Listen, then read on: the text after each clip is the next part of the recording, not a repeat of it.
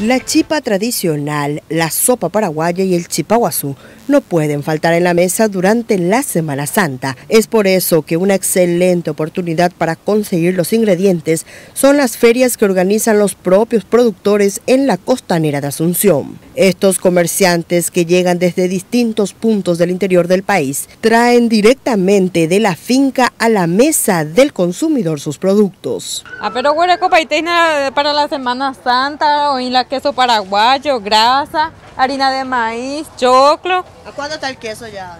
El queso está a 25 y 27. ¿Y la grasa? La grasa a 15 mil al kilo. ¿Y después cuánto está el choclo ya para...? El choclo está a 10 mil al kilo y así por, por docena, a 10 mil a docena, zapallo, está todo, chancho. La gente ya puede ir comprando y congelando. Sí, para la Semana Santa especial. Y súper accesible, estamos haciendo descuento también de acuerdo a las compras de la gente.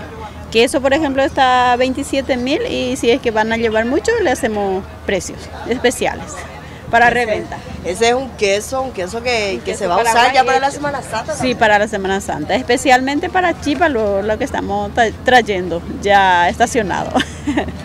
ya ni siquiera gotea.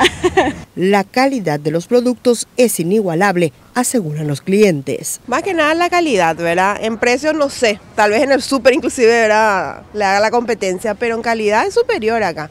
Se nota que es eh, algo nuevo, ¿verdad? Que vale la pena llevar. Obviamente, obviamente, yo creo que ahí está la ganancia. Y bien, por lo menos fresco. Esta feria beneficia a más de 130 productores a nivel país.